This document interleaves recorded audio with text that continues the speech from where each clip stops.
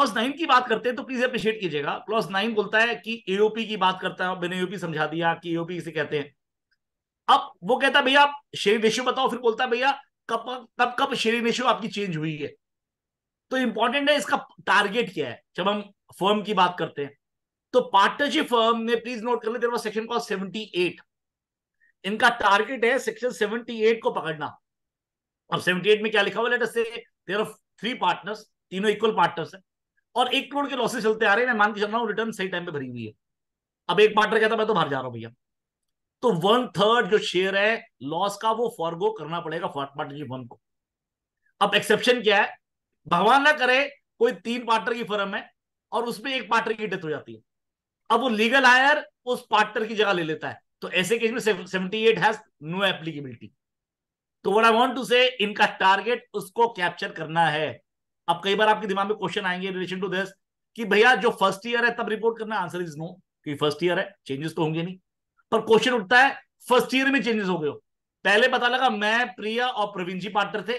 बाद में प्रवीण जी चले गए, मैं और प्रिया रह गए। या फिर विनय जी और आ गए। तो क्या रिपोर्ट करना है?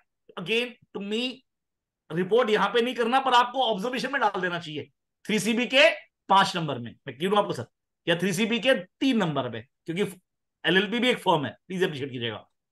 अब मान लीजिए क्वेश्चन उठता है कि भैया, अगर मान लीजिए कोई डिफरेंट चेंजेस हुए हैं रेलिवेंट ईयर में, मान लीजिए दो साल पुरानी है, अब दो साल में चार बार चेंज हो गया, लेकिन जब आपका शुरुआत और एंड था, वो एंड सेम हो गया। पहले मैं, आप और प्रवीण थे, ठीक है जी? हम, हमारे यहाँ दो तीन पार्टनर गए, दो तीन पार्टनर आए, पर एंड में इकतीस बार को सेम हो गए, तब भी क्या रिपोर्ट करना है? सर आप सर, यहाँ पे रिपोर्ट नहीं करेंगे, पर मेरा पर्सनल मानना है, आपको थ्री सीबी के पाँच नंबर में इस तरह की रिपोर्टिंग करनी पड़ेगी। राइट नाउ क्वेश्चन उठता है what about forty eight to be remuneration की बात कर रहा है इंटरेस्ट की, अगर इंटरेस्ट में वो चेंज आ गया रिम्यूनरेशन में चेंज हो गया, सर, इसकी रिपोर्टिंग आपको नहीं करनी है। क्या आपको, सर, वो पार्टनरशिप डीड जमा करानी है? सर, कोई तरीका ही नहीं है आपके पास, पर आपके पास वो कॉपी होनी चाहिए। अप्रिशिएट कीजिएगा, अगर असिस्टेंट के टाइम पे वो कॉपी मांगेगा तो वो कॉपी आपको प्रोवाइड करनी है। आप ये नहीं बोल सकते, वो मिल नहीं रही है। That has to be provided because वो आपके पास डॉक्यूमेंटेशन में भी होनी चाहिए। अप्रिशिएट कीजिएगा, क्योंकि वो थ्री में जो डाटा लिख रहा है, उसकी ट्रू एंड करेक्टनेस पे आप ऑलरेडी अपनी ऑब्जर्वेशन